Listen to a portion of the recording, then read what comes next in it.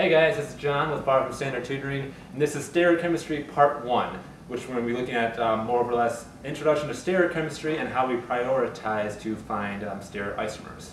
So when we talk about stereochemistry, what do we mean? Well, stereochemistry is referring to specific sites in a molecule that can have options for different configurations, okay? And those, those specific sites are known as stereosites. Another important term are stereoisomers, and these are referring to molecules that have stereosites. So what makes a stereoisomer?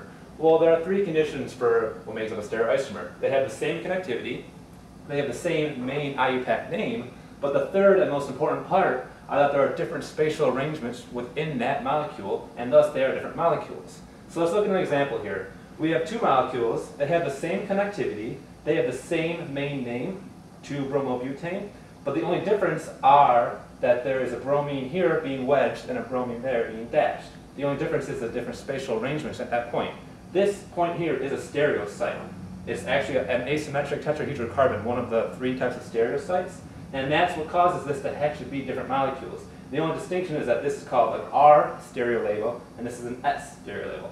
And so you'll see that the only difference in the name, this uh, parenthesis here indicates that our stereo label is present, the entire main name, the main IUPAC name stays the same, but since there's a different stereo label, they're different molecules. So just keep the rule in mind that a different name means different molecules. And this entire name is different than this entire name because of the different spatial arrangement and thus stereo label.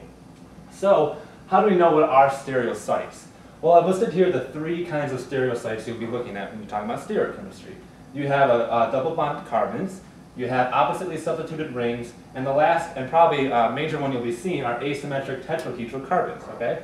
So with uh, the double bonded carbons, all you're going to be seeing there is if you find a double bond carbon and different groups bonded off of that, you can either get the E or Z stereo label.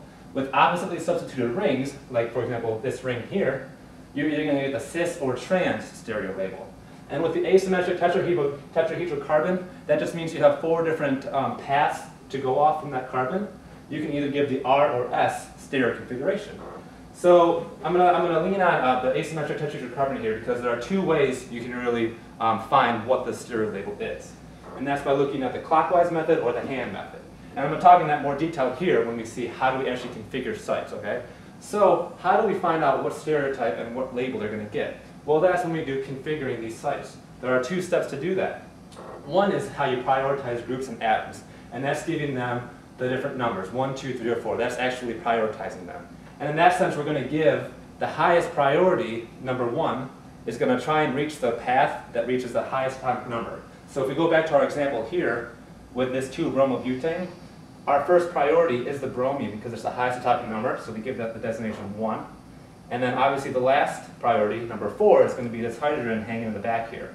And then the two other paths to the two other carbons are going to be 2 and 3 respectively. So that's what I mean when I say prioritize groups and atoms. You're going to be giving these different groups and atoms from that carbon either the numbers 1 through 4 based on the priority they get. And just remember the highest priority you, want to reach, the highest atomic number at the first point of difference. Going on to the second part, that's how we evaluate these priorities. And so, for example, with asymmetric tetrahedral carbons, we can do that with the clockwise method or the hand method. So let me go through these examples, um, first through the double-double double bonded carbons and rings, and then going on to asymmetric carbons. So the double bonded carbons here, we know that you can get the E and Z configurations, all right? So first we do, prioritize, we do the prioritizing. So in this carbon here, bromine is number one, highest atomic number. With this carbon here, same with the um, oxygen there. So we have to give it the E or Z configuration. Well, they're on the same side of the double bond, so they get the Z configuration, okay? With the second one, all we're doing is we're switching this carbon here. Now, the number one priority is on opposite sides of that double bond, and so we give it the E configuration. For rings, we want to look at what's on the same side of the ring entirely and what's on the opposite side of the ring entirely. So our number one priority is the oxygen here and the bromine here. They're both on the same side of the ring. They're both being wedged out of the board, so they get the cis configuration. And then here, one of them is just switched. The number one priority now is behind the board, and the bromine stays the same. So they're on opposite sides of that plane. One's up, one is down. You get the trans stereo label. Now going on to asymmetric carbons, the one you're going to be seeing the most. Again, this is where you can use either the clockwise or the hand methods. You'll be learning this in class. The way you do that, for example, for the clockwise, is we, we say number four is into the board, and if you go around clockwise with one, two, three priorities, then you get the R configuration. If you go around counterclockwise back this way, and number four is into the board, you get the S configuration. So for our first example here, number four is into the board, we're going around clockwise, that's going to be the R configuration. And the other way here, four is still in the board, but we're going the other way, counterclockwise, so it gives the S configuration. Well, what happens if the four is wedged? Well, that's just the complete opposite. Just imagine that you're looking at it the other way. So four is now wedged. We go one, two, three around the board there. It is clockwise, but since you're looking at it from behind, you just reverse it. So it would be R, but the, the number four is wedged instead of dashed, so it is S. Okay?